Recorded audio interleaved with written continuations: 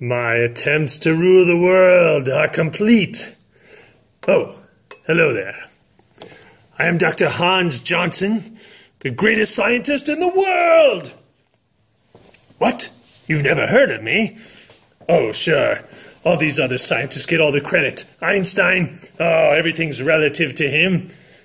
Tyson, the man doesn't even know what a planet is. Doofenshmirtz, he's not so bad. Anyway, I've been toiling away in obscurity, but I have just come up with the greatest of my inventions. It is a potion that is going to turn the world into zombies.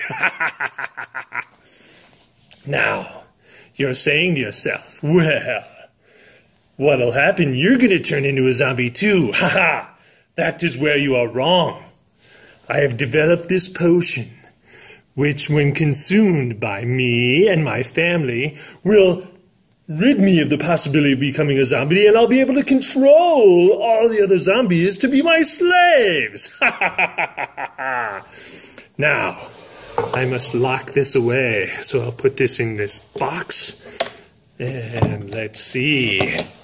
Maybe I can use this to clasp it together. And we will find some locks here. Not just one lock. Ha! You think you can foil me. Put another one on here. And then a last one. And now, the universe will be mine. Ha ha ha! The greatest in the world. Now, I have to hide this key. If in 45 minutes you cannot find and unlock this box, the world will be mine.